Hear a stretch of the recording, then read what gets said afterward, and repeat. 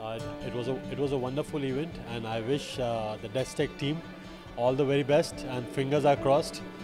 May this company become a billion dollar company very soon. Thank you.